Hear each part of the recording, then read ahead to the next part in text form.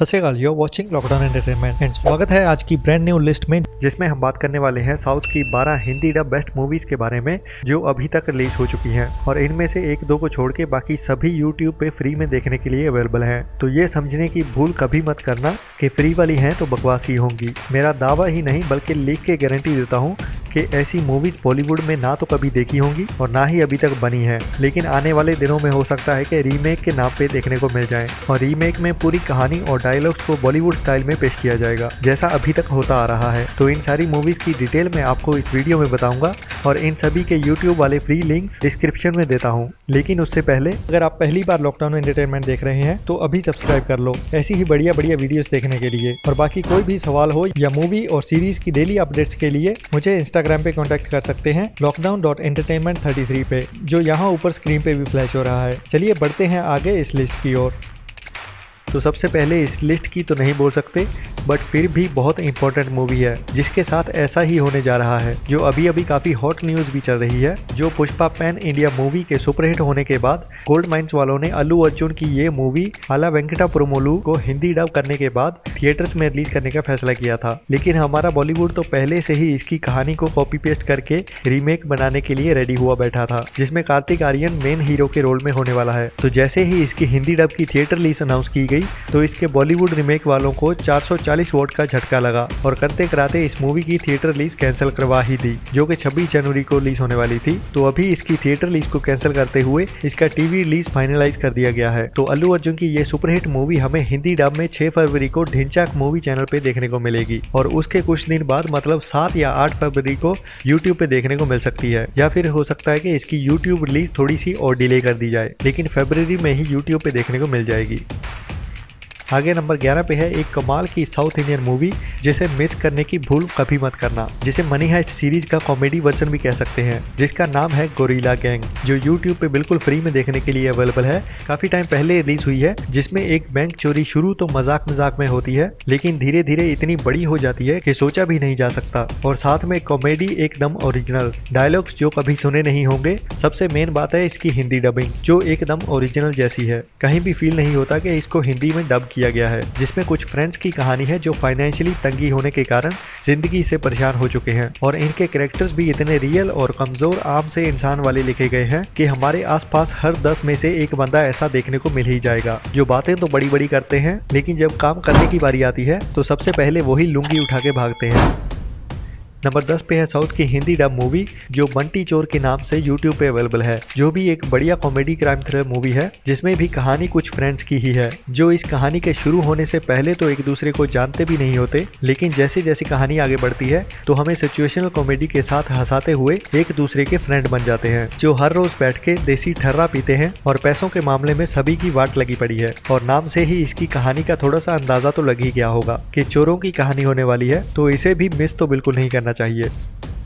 Number नौ पे है south की एक मिस्ट्री थ्रिलर मूवी चुरली जो कुछ टाइम पहले रिलीज़ हुई थी ओनली साउथ की लैंग्वेजेस में, और अभी 19 या 20 जनवरी को अमेजोन पे रिलीज़ की गई है हिंदी डब में। जो मूवी एक्सपीरियंस के लिए तो कमाल की लगती है, और सारी मूवी साउथ के घने जंगलों में ही शूट की गई है, जहाँ पे दो अंडर कवर पुलिस ऑफिसर जाते हैं एक क्रिमिनल को पकड़ने के लिए। लेकिन कहानी के नाम पे एक मज़ाक सा कर गए हैं, जिसमें कहानी मिस्ट्री थ्रिलर है, और थ्रिल तो बनता है, उसके साथ मिस्ट्री कुछ ज़्यादा ही बना दी गई है। अब पता नहीं इसका सेकेंड पार्ट बनाने की सोच रहे हैं इसके मेकर्स इसलिए सारी मूवी ही एक मिस्ट्री बना के रख दी गई है, या फिर कहानी के नाम पे प्रैंक कर दिया गया है हमारे साथ, जिसकी कहानी शुरू तो बड़ी एक्साइटमेंट के साथ होती है, लेकिन एंड इसका होता ही नहीं। मेरा मतलब एंड होता तो है, लेकिन जो मिस्ट्री शुरू में बनती है, वो मिस्ट्री ही रह जाती है। तो ज़्यादा रिकमेंडेड नहीं है बट आप ट्राई कर सकते हो।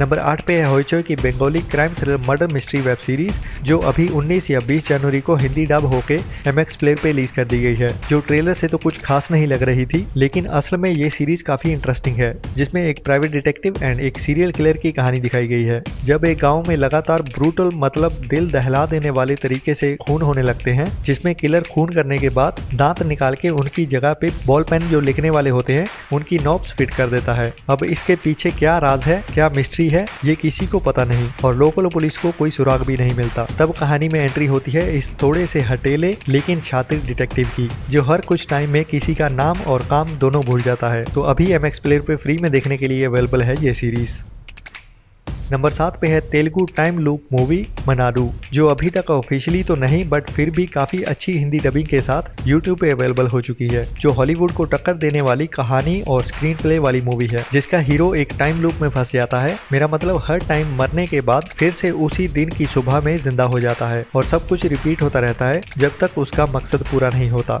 सुनने में जितनी बोरिंग एंड एवरेज सी कहानी लगती है, देखने में उतनी ही ज़्यादा इंटरेस्टिंग है। जिस तरह से हर सीन को डिटेल्स के साथ दिखाया जाता है बिना किसी टाइम पास के, वो देखकर दिमाग फट जाएगा और बॉलीवुड की कोई भी मूवी इसके आसपास भी नहीं फटने वाली। तो ये मूवी मस्ट वॉच है। डबिंग उतनी अच्छी नहीं बट वॉचेबल है।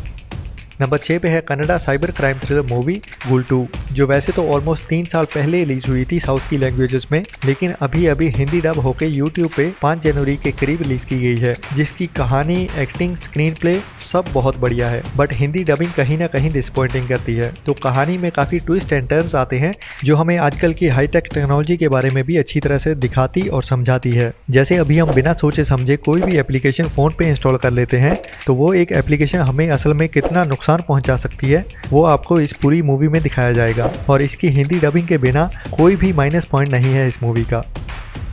नंबर पाँच पे है साउथ की हॉरर थ्रिलर मूवी और कहानी में एक मैरिड कपल है जो अपनी अपनी नौकरियाँ खो देते हैं और काम की तलाश में दूसरी जगह जाने के लिए निकलते हैं। जब रास्ते में उनकी कार खराब हो जाती है तो उसके बाद वो एक घर में पहुँचते हैं। और जिस घर में जाना तो आसान है, लेकिन वहाँ से ज़िंदा बाहर आना लगभग इम्पॉसिबल है। तो एंड तक उनकी ज़िंदा रहने की लड़ाई है इस मूवी में।